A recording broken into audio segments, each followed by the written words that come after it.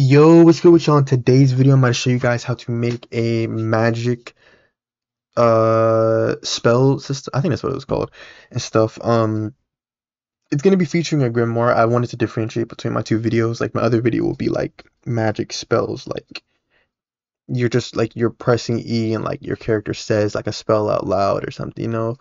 Um, and yeah, that's what I wanted that to be. But this system is like, you know, you have like a great you equip a grimoire, right? Like Black Clover. If you've seen Black Clover, like that. You equip a grimoire, and then you're able to use spells and stuff. So it's gonna feature the book and stuff. So yeah, happy Thanksgiving to everybody and stuff. I mean, by the time you're watching this, Thanksgiving is, you know, it was yesterday. But if you're American, you know, I'm If not, have a good day. But anyway, let's go ahead and get straight into the video. Okay. So first things first. Um what we need to do is we need to um first I need to go over some stuff with y'all. So first things first, we have the grimoire. If you don't know the grimoire is, it's just a book. It's like what wizards use and stuff for like spells and stuff. Y'all already know. I got this from the toolbox. Go to the toolbox, find a grimoire, right? Put it inside of replicated storage because we're going to duplicate it and clone it over on the client side so that the player can equip it, right? Then the then this fireball attack because obviously I need a, a spell, right? This I got this from the toolbox as well. I don't know when or where because I, I like this is from a video on my how to make a basic fireball attack up the updated version from like almost a year ago. So I or maybe a year ago, I don't know. So I don't like the point is I got this from the toolbox. Everything I got from the toolbox. And then I, I put it yeah, I put it in server storage, right? Then of course I have some sound effects and equip sound when I equip the grimoire and the fireball sound effect. Again, got these from the toolbox. Yeah, I think y'all are seeing the pattern. So let's open up starter player, open up starter player scripts. I have a hold animation. Again, got this from got this from the um toolbox and stuff, right? This is like hold animation, which is which is kind of for me, it'll be the equip animation, right? So I'm going to insert a local script into starter player scripts. You're going to put your animation inside of local scripts. You click the plus icon and then click animation to insert it. And then of course put your, put in your ID. You have to use your own animation ID and then name it accordingly. And yeah, let's go ahead and name the script magic script in parentheses put local right? We're going to delete print hello world and we're going to need to make a couple variables.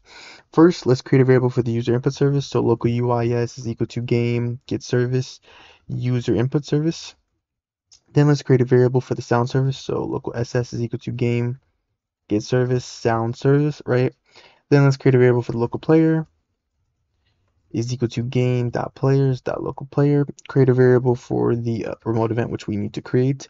So head on over to replicated storage click the plus icon insert a remote event. You're going to want to rename this event to magic event. Then create a variable for it so local magic event is equal to game dot replicated storage wait for child magic event then we're going to create a variable for if the grimoire is equipped or not so local grimoire, if you don't know how to spell it, that there you go, is equal to false here. So we're going to keep track of whether or not it's equipped or not, right? And then we're going to set up the first function, UIS dot input began connect function in parentheses put input comma processed. Enter then set up an if statement if input dot user input type is equal to enum dot user input type dot keyboard and not processed, which pretty much means the player is not typing in chat. If input dot keycode is equal to enum dot keycode, I'm going to go with E, but you guys can go whatever you want. Enter. Here's how we're gonna equip the grimoire, right?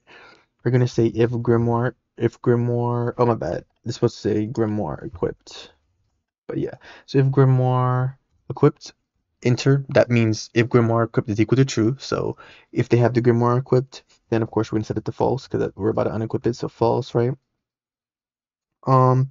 Then we're going to create a variable for the player's character. So character is equal to player dot character then you're going to say character dot left hand because that's where we're going to parent the grimoire to, and then you're going to say dot grimoire.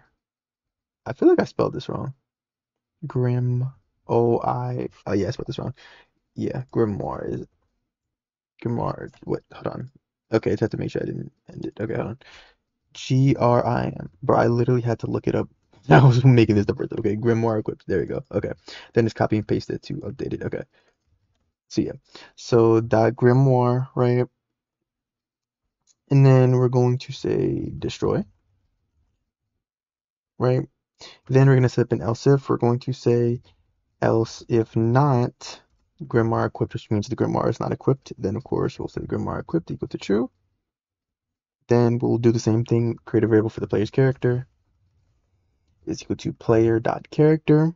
Then I'm going to uh, clone over the grimoire. So we're going to say local grimoire is equal to game that replicated storage dot grimoire clone, right?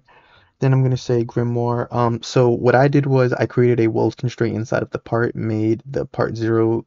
I set the part zero equal to the grimoire, and part one is going to be the character's left hand. That's how I set this up. but You guys can set it up whatever way you want. So I'm going to say weld constraint dot part one is equal to character dot left hand. Now keep in mind this is for R15. If you're using R6, you would want to put left arm instead of left hand. If you're using R6, do left arm or right arm. It, you guys don't have to do left. It could be right. It doesn't matter. But the point is you would put arm instead of hand if you're doing if you're R6, if your game's R6. But if you're R15 like me, then just leave the hand. Then we're going to set its C frame. So grimoire pivot 2 we're to set the C frame now this you guys may have to adjust the numbers as need be. This is going to work for me because for this specific part it's to work but you guys may have to adjust the C frame so I'm to pivot it to the characters. Left hand C frames times C frame dot new 1 comma 0 negative negative 0 0.5 comma 0 then times C frame dot angle. This is to ensure that it's facing the like it's facing upward correctly as well as you know like it's the correct length like in front of my player comma 0, comma 0, right? Then you're going to parent it to grimoire.parent is equal to character dot left hand, right? Then we're going to set up the animation track to equip it.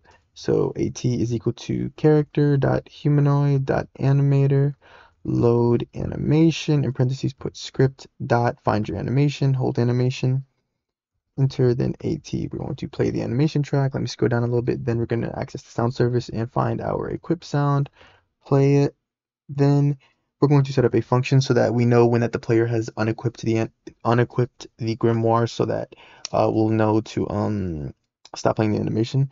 So we're going to say character dot left hand dot child removed, right? So this function will trigger whenever a child has been removed from the grimoire. I mean, from sorry, from the player's uh, left hand. Then we'll say if not grimoire equipped, which means the player no longer has a grimoire equipped, then we'll stop playing the animation track. Right. Then we're going to skip, I think it's like three, yeah, it's three ends. Then we're going to throw an else if. We're going to say else if input. This is, so this is the spell code. So it's equal to input.keycode is equal to an enum.keycode.1. So let's say like E is to equip the grimoire, but then like the number numbers are to use the spell. So like one, two, three, four, or whatever, right? Enter, and then we'll say if grimoire equipped boom. So if the grimoire is, you know, equipped, then um we're going to get the end position for the fireball attack. So end position is equal to player gets mouse dot hit dot position. Then we're going to fire the remote event, magic event, fire server in quotation marks, but the name of the event should be spell one, comma, then send over the end position. Then I'm going to, um, oh, actually, no, that's actually it. Actually, yeah, that is it as long as the grimoire is equipped, then the spell should work. Um, and then yeah, let's move on to the server side. Let me just double check to make sure. Okay, we are good. Now head on over to uh, server script service. Click the plus icon. Insert a server script. Rename said script to magic script in parentheses. Put server. Then we're going to delete print hello world. We're going to make a couple variables. We can actually save ourselves some time and, and come back here and copy and paste this control C, control V, control V, control V, and then just change some things. First. Change the first one to TS, this is the tween service, leave the second one, then we'll change the last one to, oh my fault, change the last one to DS, and then uh, okay, I don't know what I'm doing clearly. Then debris, and then lastly, we need the magic event, so select it, control C, control V, boom. Then let's start setting up the function for the hitbox. We're going to say game.players, that player added connect function, in parentheses put PLR register for the player who joined. Enter, then set up the next function, player.character added, can connect function, in parentheses put character, enter. Then we're going to set up the hitbox. Local hitbox is equal to instance.new, quotation marks part. Then let's start setting the properties. Hitbox.name is equal to hitbox, enter hitbox.massless is equal to true hitbox.anchored is equal to false. Hitbox.can't collide is equal to false. Hitbox.transparency is equal to 1 unless you're testing. hitbox.size is equal to vector3.new. In parentheses, you're going to put 5, comma 6, comma 2.5, enter. Hitbox.color is equal to color3.new, 1, comma 0, comma 0. So red for when you're testing. We're going to set it C frame, hitbox pivot 2, character dot humanoid root part dot C frame. Then we're going to set up the weld constraint. So weld, we're going to weld it to the character humanoid root part. So it's equal to instance dot new weld constraint. Then set the properties weld constraint dot part zero is equal to hitbox weld constraint dot part one is equal to character dot humanoid root part part, wait, part zero hitbox part yeah okay and then um, we're going to set the weld constraint parent, so parent it to the hitbox then we're going to set the hitbox parent to the characters humanoid root okay clearly I don't know how to spell humanoid root part boom right so we're going to leave it like that. We're done with the first function. Now onto the second, which is the actual combat one. So we're going to say magic event on server event connect function in parentheses put PLR register for the player comma, event type, comma, arg1 for argument number one, enter, create a variable for the player's character. Local character is equal to player dot character set up an if statement. So if event type is equal to, we'll say spell one, enter. Um, we're gonna first get the start position. So start position is equal to character dot I guess it would make more sense to do the left hand since that's what it was, because originally I had right hand, but it doesn't really matter. So we're to just say left hand opposition, then get the end position, which we already sent over. End position is equal to arg1, then calculate the direction, which is end position minus start position on the outside. You're going to do dot unit, and I forgot the equal sign, boom, right? Then we're going to calculate the duration. Duration is equal to, in parentheses, same thing, end position minus start position. On the outside, do dot magnitude, divide this by 60, adjust the number as need be if it's if the fireball is going too fast or too slow. Then we're going to clone over the fireball from server storage. So we're going to say fireball clone is equal to game server storage fireball clone. Then we're going to say fireball clone pivot to character dot right hand dot c frame then fireball clone dot parent is equal to workspace, right? Then we're going to set up the fireball tween. I'm going to say local fireball tween is equal to ts create. And then we're going to put the fireball clone, comma, tween info dot new, of course, with the duration, comma, enum dot easing style. I went with cubic, comma, enum dot easing direction is, of course, out right? Then comma, special brackets, position is equal to end position. Then, of course, we want to play the tween, right? Then um, we're going to also play the fireball sound effect, play. Then I'm going to set up the raycasting. So we're going to say raycast params is equal to raycast params dot new, raycast params dot filter type is equal to enum dot raycast filter type dot exclude then raycast params dot filter descendants instances is equal to special brackets character get descendants right and then we're going to cast array we're going to say local ray cast is equal to workspace to raycast start position comma direction times um since since it is a ranged attack to a pretty decently a decently big number. So 20 for me then raycast parameters. Set up an if statement. So if raycast and raycast.instance if it makes contact with an instance and if that instance's name is equal to hitbox, right? Then enter, create a variable for the person, the player's enemy character. So enemy character is equal to raycast.instance.parent.parent. .Parent. Dot parent. Then we're going to damage them. So enemy character.humanoid.health is less than equal to however much damage you want to do. I'm just put 10. Then I'm gonna set up a for every appears loop to give the enemy a damaged effect. Like I'm gonna make their uh, body red for a little, just little like a split second. So for i comma v impairs, you're gonna say enemy. Make sure you do enemy character, not regular character. Enemy character get children. Right. Enter if v is a mesh part. So for R15 or v is a regular part, which is for R6. Right. Then we're going to set up the tweens. Um, you can really just copy and paste the fireball tween, Control C, Control V, save ourselves some time.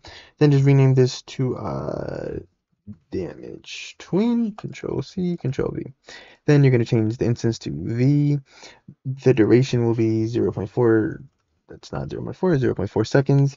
Um, exponential remains out. Uh, we're adjusting the color, so color is equal to, of course, red, color 3.new, um, 1 comma 0 comma 0, and then also the transparency. So transparency is equal to 0 0.5, right? And then we're going to go after this. Um, we're going to say task dot wait 0.1 seconds. To save ourselves some time. Just copy and paste the entire thing. Control c control v. Then this time this is going to be the second damage tween. So there were two at the end right? And then this time you're going to set the duration to 0.3 seconds change the direction to in the color is going to go back to the original gray so 0 0.6 0.6 0.6 so back to gray transparency will be set back to zero. Right. So the second damage tween and then lastly after the three ends we're going to use the debris service so ds add item fireball clone comma duration. So it's so we make sure we ensure it was destroyed and yeah just like that we have finished setting everything up. Let's go ahead and test to make sure everything works.